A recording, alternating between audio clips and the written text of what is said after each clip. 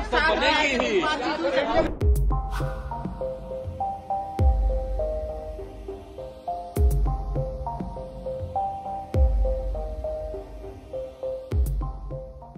देश में लोकसभा चुनाव 2024 के परिणाम आने के साथ ही नीतीश कुमार को लेकर चर्चाएँ खूब होने लगी।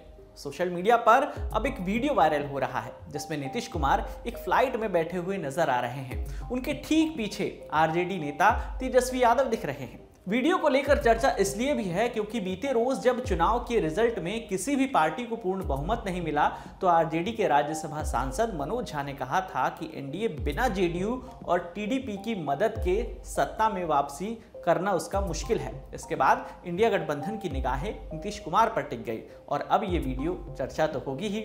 पाँच जून को दिल्ली में एनडीए और इंडिया गठबंधन दोनों की ही बैठकें अलग अलग होनी है। दोनों दल आगे की रणनीति को लेकर इस बैठक में चर्चा करेंगे। इसी बैठक में भाग लेने बिहार के दोनों बड़े नेता पहुँचे हैं।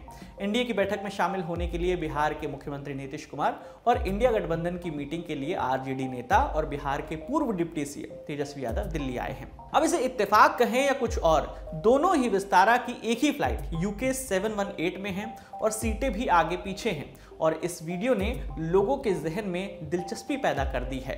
फ़्लाइट लेने से पहले पटना एयरपोर्ट से निकलने के वक्त तेजस्वी ने कहा कि देश में मोदी फैक्टर खत्म हो गया है। देश का मिजाज जो है, मोदी जी के खिलाफ रहा। है और हमें खुशी है देश के लोगों ने को बचाने के लिए मत किया।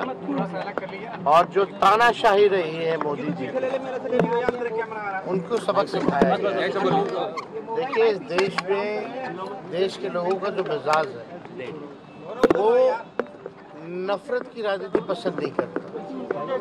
वो बेकार की बातें सुनना नहीं चाहता है, काम की, मुद्दे की बात सुनना चाहता है। दस साल में मोदी जी ने कोई हिसाब नहीं दिया। तो जनता ने उनको सबक सिखाया। तो हम लोग, सब लोग आज बैठक में यहाँ आए हैं। छः बजे हम लोगों की बैठक है। और देखते हैं बैठक में क्या सभी लोगों का बनाने की कोशिश करेंगे आप लोग क्योंकि क्लियर मेजोरिटी कोई देखते अभी अभी हमको लगता है थोड़ा धैर्य रखिए अभी देखते जाइए क्या क्या होता है। नीतीश के साथ एक ही फ़्लाइट में जाने के सवाल पर उन्होंने मुस्कुरा कर कह दिया कि उन्हें नहीं पता कि नीतीश कुमार भी इसी फ़्लाइट से दिल्ली जा रहे हैं। उनकी फ़्लाइट का समय दस बजकर चालीस मिनट था। चर्चाएँ भी खूब हैं। ऐसा इसलिए क्योंकि चुनाव परिणाम आने के बाद से इस बात की चर्चा शुरू हो गई कि नीतीश कुमार एनडीए के ही पाले में रहेंगे या पाला बदल देंगे। चार जून को मतगणना के दौरान भी ऐसी खबरें आई जिसने इस बहस को और तूल दिया। बिहार में जेडीयू ने 16 सीट पर अपने उम्मीदवार उतारे थे। इनमें से 12 सीटों पर उनको जीत मिली है। वहीं राज्य में भाजपा 17 सीटों पर चुनाव लड़ी और उन्हें जीत मिली 12 सीटों पर। वोटों की गिनती के दौरान जब नीतीश की पार्टी जीत की ओर बढ़ रही थी तभी ऐसी खबरें आई कि कांग्रेस ने नीतीश से बातचीत के चैनल खोल दिए हैं।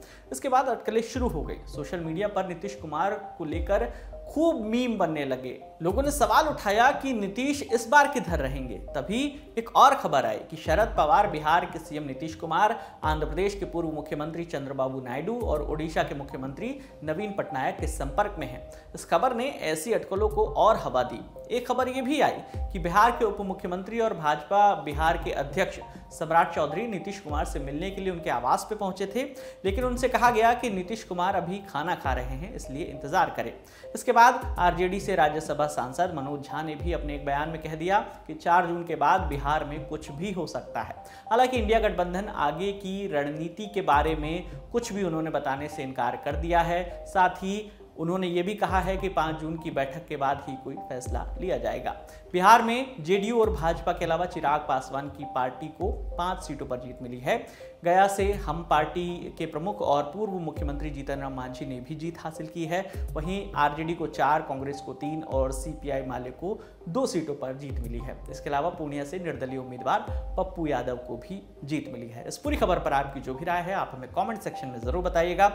लिए तमाम जानकारी लेकर आए थे हमारे साथी दीपेंद्र गांधी। मेरा नाम है विकास वर्मा। देखते रहिए दिल्ला टॉप। शुक्रिया।